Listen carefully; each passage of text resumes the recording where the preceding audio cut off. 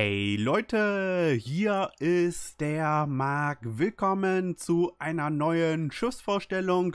Heute haben wir hier den japanischen Flugzeugträger auf Stufe 7, die Shokaku am Start. Dort werden wir uns natürlich anschauen, welche Module ich verbaut habe, welche Verbesserungen. Dann gucken wir uns die Verbrauchsmaterialien an, die Werte, vergleichen diese mit anderen Schiffen auf der Stufe. Dann gibt es die Kapitänsskillung und natürlich noch das erste Gameplay. Fangen wir doch mal direkt hier mit den Modulen an. Dort nutze ich im ersten Slot Flugüberwachung Mod 1. Dort wird die Vorbereitungsrate für Flugzeuge reduziert, was auf jeden Fall sehr, sehr gut ist. Im zweiten Slot nutzen wir Luftgruppen Mod 2. Dort erhöhen wir einmal die Trefferpunkte von beiden Flugzeugtypen. Das hilft einfach dabei, die Flugzeuge nicht so schnell zu verlieren. Im dritten Slot nutzen wir das Tarnsystem Mod 1. Das ist natürlich sehr wichtig, mit einem Flugzeugträger in der Tarnung zu bleiben. Und dabei hilft uns auf jeden Fall das Tarnsystem Mod 1 hier. Und im letzten Slot nutzen wir Luftgruppen Gruppen Mod 3, um einfach nochmal eine erhöhte Rückkehrgeschwindigkeit der Flugzeuge zu bekommen und nochmal die Trefferpunkte der Sturz- und Torpedobomber hier zu erhöhen. Man könnte auch durchaus überlegen, wenn man sagt, okay, die Trefferpunkte, die reichen mir bei den Flugzeugen, auf äh, Flugüberwachung Mod 2 zu gehen, um einfach eine höhere Reisegeschwindigkeit zu haben. Das hilft natürlich dabei, häufiger anzugreifen, aber es bringt halt auch nicht so viel, wenn man halt keine Flugzeuge mehr zur Verfügung hat. Deswegen nehme ich hier die sichere Variante mit mehr Trefferpunkten und die Verbesserungen sind soweit alle eingebaut. Bei den Schiffsverbrauchsmaterialien haben wir einmal das Schadensbegrenzungsteam mit unendlich Aufladungen, außerdem den Jäger mit vier Aufladungen und beide Verbrauchsmaterialien werden hier automatisch eingesetzt und bei den Torpedo- und HE-Bombern haben wir jeweils die Motorkühlung mit zwei Aufladungen und noch die Jägerpatrouille mit drei Aufladungen. Dann kommen wir zu den Werten. Diese werden wir natürlich wieder mit anderen Flugzeugträgern auf der Stufe vergleichen. Wir haben bei Überleben 64 Punkte, Trefferpunkte sind 51.400, was relativ wenig ist für die Stufe. Panzerung sind 6 bis 215 mm. Dort schauen wir uns natürlich auch schnell die Panzerungsgruppen an. Bugpanzerung haben wir hier 19 mm. Dann haben wir hier noch den Aufbautenpanzerung hier nochmal das Casemate. Und was auf jeden Fall nochmal, auf jeden Fall interessant ist, ist hier die Deckpanzerung, die wir haben von 19 mm. Das ist auf jeden Fall bei Flugzeugträgern immer ein Wert, wo man drauf achten sollte. Und dann schauen wir uns natürlich noch die Zitadelle an. Dort hier auf jeden Fall unterhalb der Wasserlinie, mehr oder weniger in der Mitte des Schiffes auf jeden Fall. Und im Gegensatz zu den unterstufigen Flugzeugträgern haben wir jetzt hier wenigstens etwas Panzerung, was die Zitadelle wenigstens ein wenig schützt. Und die Torpedoschadensverringerung sind 25%, was ein sehr guter Wert ist für die Stufe. Weiter geht es mit den Flugzeugen. Dort haben wir 35 Punkte. Wir haben eine Staffel Torpedobomber mit 3225 Trefferpunkten, was unterdurchschnittlich ist. Einer Reisegeschwindigkeit von 123 Knoten, was ziemlich schnell ist. Höchstgeschwindigkeit von 159 Knoten, was auch schnell ist. Größe der Angriffsstaffel sind 3. Flugzeuge je Staffel sind 6, Erkennbarkeitsreichweite sind 7,5, was auf jeden Fall ein guter Tarnwert ist. Flugzeuge an Deck haben wir 15 Stück, Flugzeugwartungszeit sind 72 Sekunden, was eine gute Zeit ist. Der Torpedo-Höchstschaden liegt bei 7567, was auf jeden Fall ein überdurchschnittlicher Schaden ist. Torpedogeschwindigkeit 50 Knoten, was relativ schnell ist. Und auch die Torpedo-Reichweite ist sehr gut mit 5,5 Kilometern. Außerdem haben wir auch noch eine Staffel Sturzbomber mit 3190 Trefferpunkten, was auf jeden Fall auch unterdurchschnittlich ist. Eine Reisegeschwindigkeit von 130 Knoten, was schnell ist. Auch die Höchstgeschwindigkeit hier wieder schnell mit 166 Knoten. Größe der Angriffsstaffel 3, Flugzeuge je Staffel 6 dann haben wir noch eine Erkennbarkeitsreichweite von 10 Kilometern und Flugzeuge an Deck haben wir 15, Flugzeugwartungszeit 76 Sekunden. Die Bomben machen einen Höchstschaden von 9620, was unterdurchschnittlich ist und die Brandwahrscheinlichkeit liegt bei 55%, was etwas überdurchschnittlich ist. Dann kommen wir zur Artillerie. Dort haben wir 7 Punkte und bei der Sekundärbewaffnung 2x2 127 mm Geschütze mit einer Feuerreichweite von 4,5 Kilometern, einer Ladezeit von 6 Sekunden und dort machen die Sprenggranaten einen Höchstschaden von 2100 bei einer 8%igen Brandwahrscheinlichkeit und zusätzlich noch 6x2 127 mm Geschütze mit einer Feuerreichweite von 4,5 Kilometern, einer Ladezeit von 5 Sekunden und auch hier liegt der Sprenggranatenhöchstschaden bei 2100 bei einer 8%igen Brandwahrscheinlichkeit. Dann kommen wir zur Flugabwehr. Dort haben wir 69 Punkte und 32 mal ein 25 mm Geschütz mit einem mittleren Schaden pro Sekunde von 58 und einer Feuerreichweite von 3,1 Kilometern. Dann noch 20 mal 3 25 mm Geschütze mit einem mittleren Schaden pro Sekunde von 122 und 3,1 Kilometer Feuerreichweite. 2 mal 2 127 mm Geschütze mit einem mittleren Schaden pro Sekunde von 20 und einer Feuerreichweite von 5 Kilometern und zu guter Letzt noch 6x2 127 mm Geschütze mit einem mittleren Schaden pro Sekunde von 61 und einer Reichweite von 5 Kilometern. Allerdings muss man dazu sagen, dass die Flugabwehr nicht die beste ist für die Stufe.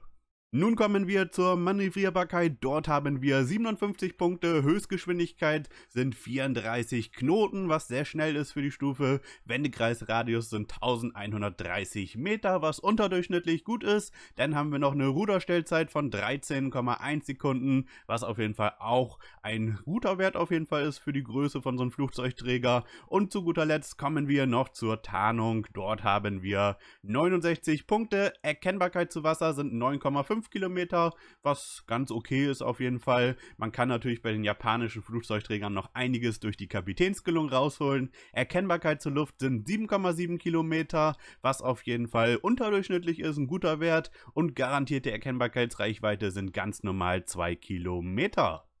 Dann kommen wir zur Kapitänsgelung. Dort nutze ich Tamon Yamaguchi mit der Basisfähigkeit Typhoon. Erhöht den Schaden der Flugabwehr ihres Schiffes, was natürlich ganz nett ist.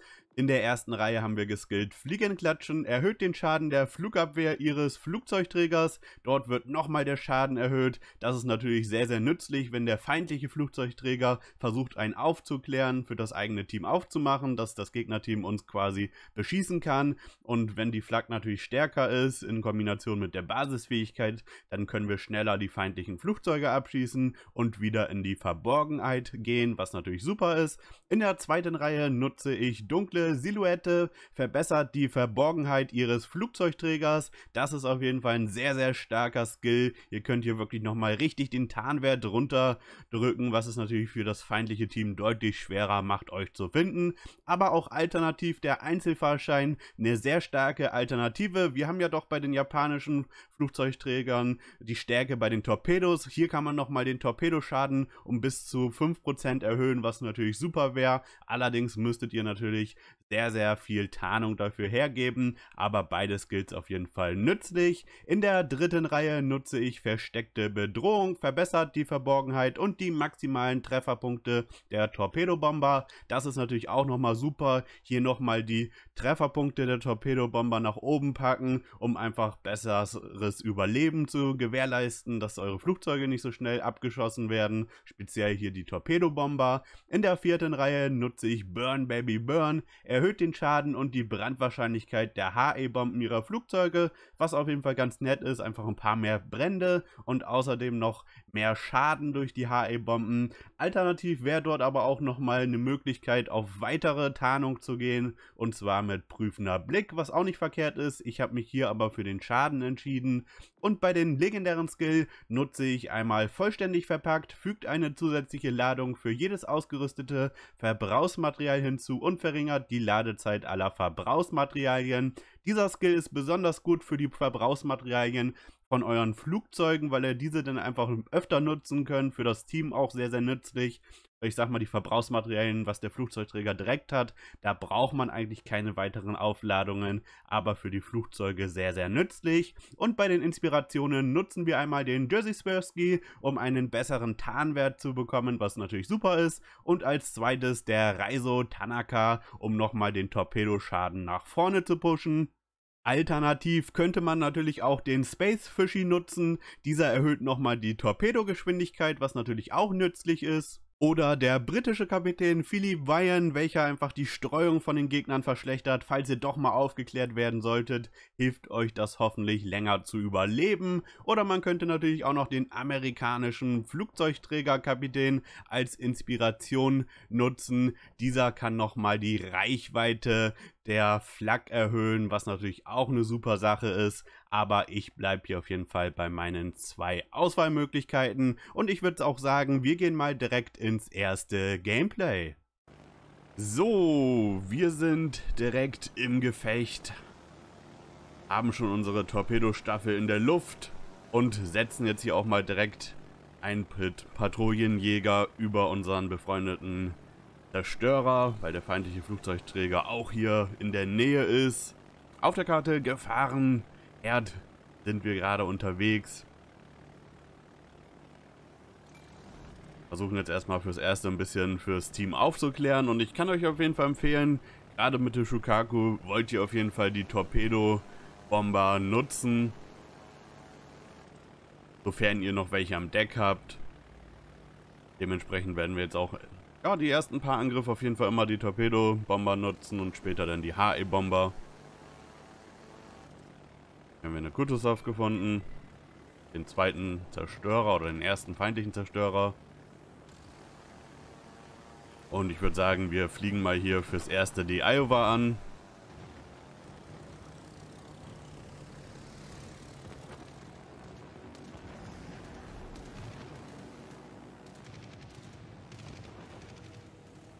Torpedos sind raus, sehr schön. Starten auch direkt die nächste Staffel.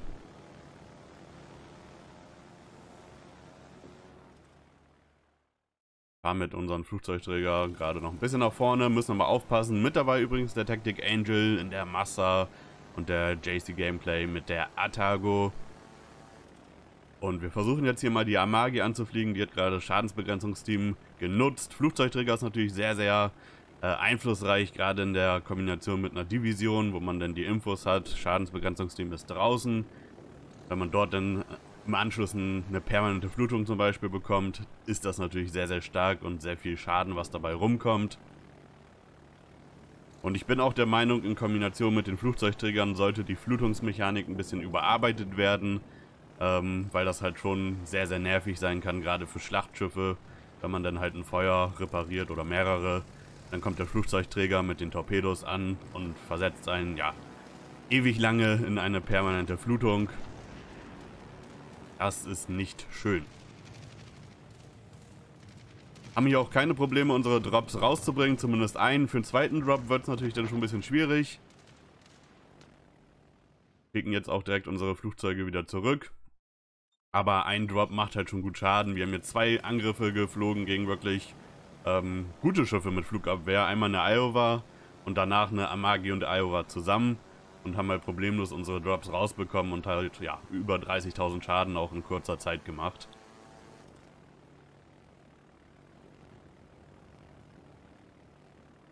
Leider haben wir schon zwei Schlachtschiffe auf der anderen Seite verloren. Bisschen schade.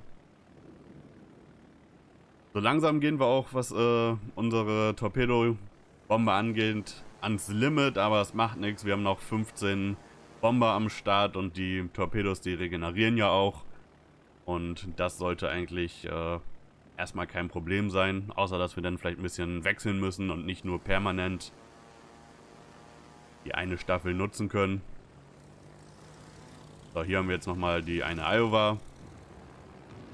Die zwinge mehr oder weniger ähm, dazu, jetzt hier reinzudrehen. Er könnte natürlich auch rausdrehen und äh, unseren Team ein bisschen äh, abhauen, aber durch den Torpedoangriff ist er jetzt fast gezwungen reinzukommen. Leider hier nur ein Treffer. Aber diesmal versuchen wir hier mal einen zweiten Angriff zu fliegen. Diesmal ist die Iowa alleine. Amagi ist ja schon draußen. Diesmal haben wir auf jeden Fall einen zweiten Drop auch durchbekommen. Nochmal ein Torpedotreffer.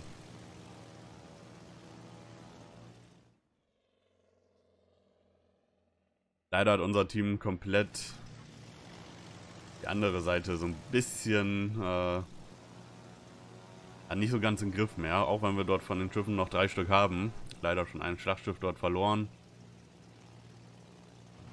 So, wir greifen jetzt mit den HE-Bombern an. Dort ist natürlich wichtig, nicht von der Seite anzufliegen, sondern von vorne oder von hinten, dass man den bestmöglichsten Angriffsfläche hat. Hier jetzt vielleicht nicht der optimale Winkel, können aber noch so ein bisschen drehen. Dennoch hier einen Treffer gemacht und auch einen Brand verursacht. In der Mitte ist nochmal wieder die zweite Iowa.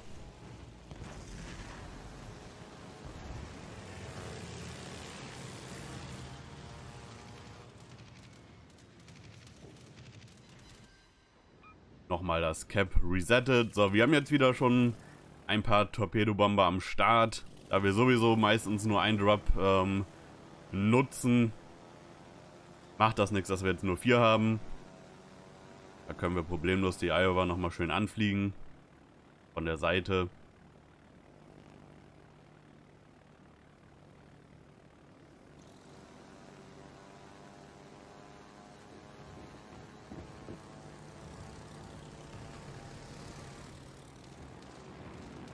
So, fährt er sogar gegen die Insel? Weiß es nicht. Kann sein.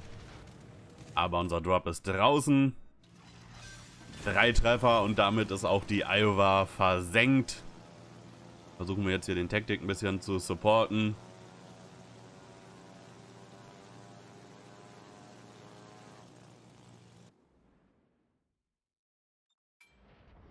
Vorsichtshalber schicken wir unseren Flugzeugträger nochmal nach hinten. Relativ ausgeglichenes Gefecht hier. Fünf Schiffe beiden Teams noch übrig.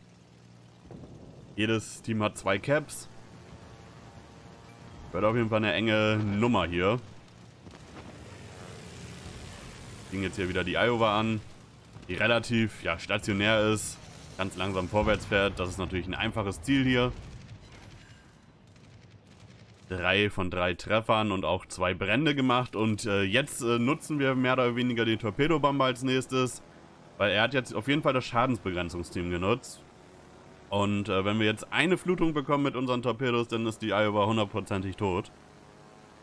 Und das wollen wir natürlich hier auch äh, versuchen. Würden damit halt auch das B-Cap verteidigen. Ich denke mal, die Iowa möchte das bestimmt gerne einnehmen. Immer noch zwei Zerstörer unterwegs.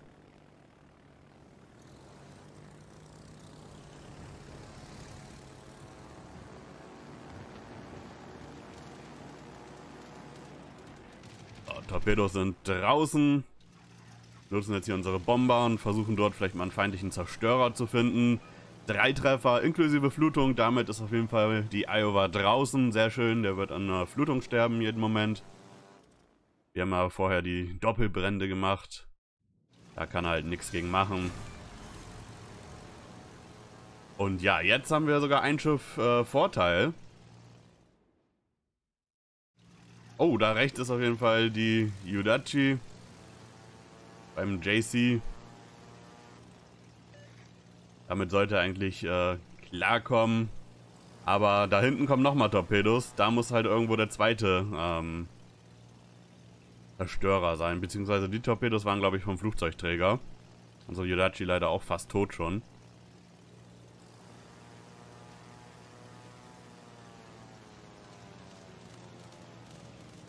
So, ich lasse jetzt hier nochmal einen Patrouillenjäger da für die feindlichen Angriffe vom Flugzeugträger. Und ich würde jetzt schon gerne irgendwie noch den anderen feindlichen Zerstörer finden. Die Yudachi wissen wir ja, dass die oben ist.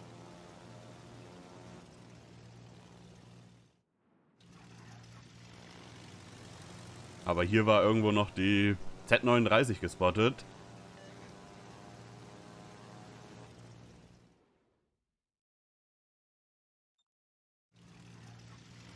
Okay, leider hat die Yudachi den JC rausbekommen. Dann werden wir jetzt zur Yodachi hochfliegen und versuchen, diese für unser Team aufzuklären.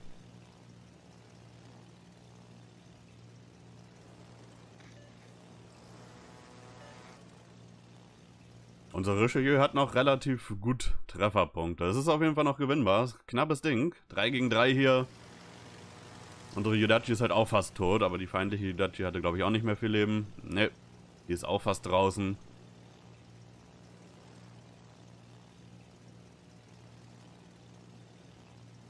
Okay, fällt jetzt hier auch ins A-Cap rein. Noch haben wir den Punktevorsprung hier.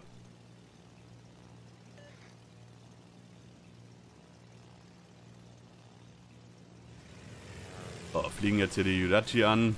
Ist ein bisschen langsamer wie gedacht, deswegen müssen wir doch relativ frühzeitig droppen.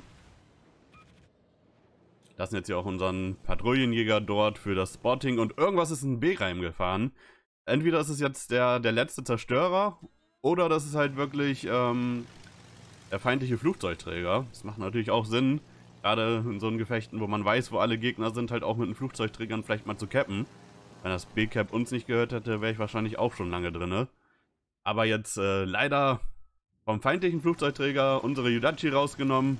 Schauen wir mal, ob wir das gleiche nachmachen können.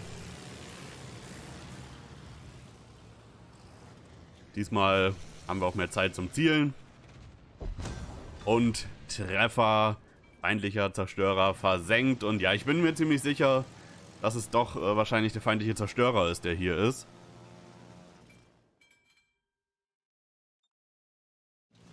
Gegnerteam ist leider, was die Punkte in Führung angeht, weil die feindlichen Zerstörer halt einfach besser gecapped haben jetzt. Mittlerweile. Dadurch, dass wir das B-Cap jetzt verlieren. Das A-Cap blockiert war und unsere, Juda äh, unsere Richelieu, wie ist die denn rausgegangen? Ich hab's gar nicht mitbekommen. Wurde jetzt noch von der Yudachi rausgetoppt. Das ist bitter. Bitter, bitter. Damit ist das eigentlich das Gefecht äh, zu Ende, mehr oder weniger. Nur noch drei Minuten auf der Uhr. Und das Gegnerteam hat halt den Cap-Vorteil. Hätten wir den Cap-Vorteil, hätten wir auf jeden Fall gute Chancen hier zu gewinnen.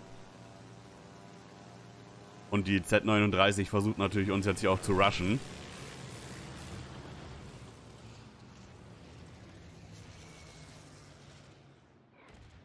Na, knapp vorbei. Nutzen jetzt hier die Torpedobomber. Können jetzt hier auch nicht wirklich viel rangieren. Wir versuchen jetzt mal den Kollegen hier über die Insel zu droppen. Weiß nicht, ob es klappen wird. Ähm, eventuell ist er zu dicht an der Insel dran, aber wir können, müssen eh zur anderen Seite rüberfliegen. Dann können wir noch einen zweiten Angriff fliegen zur Not. Gucken wir mal. Das wird ganz, ganz knapp. Und... Äh, ne, ganz knapp an der Inselkante unten. Schade. Aber gut, macht nix, macht nix. Wir hätten eh dann auf diese Seite rüberfliegen müssen. Und jetzt können wir halt einen weiteren Anflug äh, starten. Von der Seite versuchen wir ihn natürlich anzugreifen. Torpedos sind draußen. Ein, zwei, drei Torpedotreffer, vernichtender Schlag gegen die feindliche Z39. Ich versuche natürlich jetzt hier noch ins Cap reinzufahren, aber ja. Lassen jetzt hier auch nochmal einen Patrouillenjäger da, zur besseren Flugabwehr. Aber wir werden leider das Gefecht hier ganz, ganz knapp verlieren. Einfach geschuldet, weil das Gegnerteam halt einen Cap mehr hatte. Und wir einfach unmöglich den feindlichen Flugzeugträger in einer Minute rausnehmen können. Gleiche gilt auch für ihn. Er wird uns vielleicht ein paar Mal mit den Torpedos treffen, weil wir halt auch auf ihn zufahren. Aber rausnehmen wird er uns auch nicht mehr. Dafür reicht die Zeit einfach nicht mehr. Kriegen jetzt hier nochmal ein paar Abschüsse. Versuchen jetzt natürlich nochmal den feindlichen Flugzeugträger zu finden. Okay, die Flugzeuge kommen von rechts, das heißt, er muss irgendwo in der Mitte rumfahren.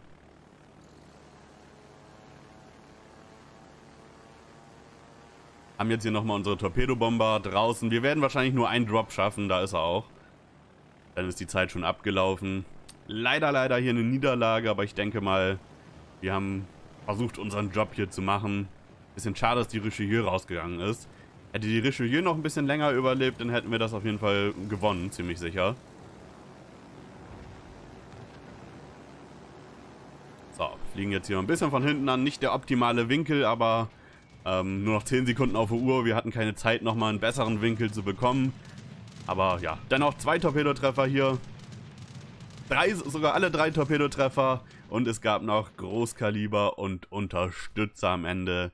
Leider aber eine Niederlage.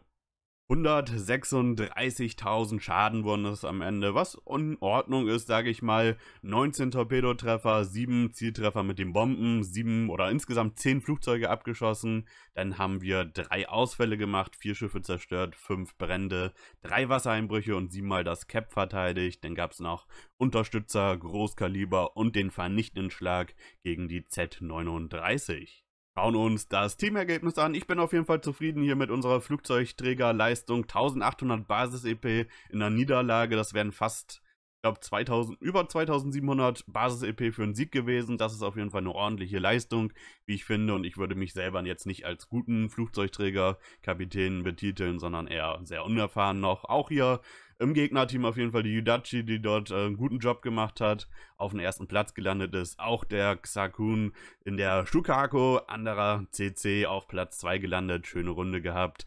Sehr, sehr nice.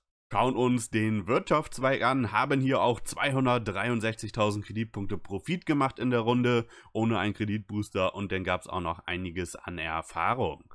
So Leute, das sollte auf jeden Fall auch soweit mit der Schiffsvorstellung der Shukaku gewesen sein. Japanischer Flugzeugträger auf Stufe 7. Ein nettes Schiff auf jeden Fall, was hier klar die Stärken bei den äh, Torpedobombern hat, die man auch so gut wie möglich immer nutzen sollte. Und wenn man ja keine mehr hat, dann kann man natürlich auf die Bomber nochmal ein bisschen rumwechseln auf die HE-Bomber, um dort noch ein bisschen was zu machen. Gerade die Kombination ist manchmal auch gar nicht mal so schlecht, wie wir bei Iowa gesehen haben. Wir haben einfach mit unseren Bomben Doppelbrand gemacht, den war, wo er gezwungen wurde, sozusagen diesen dann zu löschen oder er hat halt viel Brandschaden bekommen und anschließend haben wir mit den Torpedobombern halt eine permanente Flutung gemacht.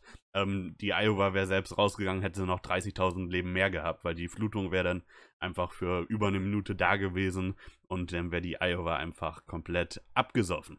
Wenn ihr noch irgendwelche Fragen habt, schreibt es gerne in die Kommentare. Lasst auf jeden Fall ein Like da, ein Abo wäre spitze. Schaut in die Videobeschreibung, dort findet ihr meinen Twitter-Account, meinen Twitch-Kanal, meinen Discord-Server. Schaut dort gerne vorbei, ich würde mich freuen und wir sehen uns dann beim nächsten Mal, Leute. Haut rein. Ciao, ciao.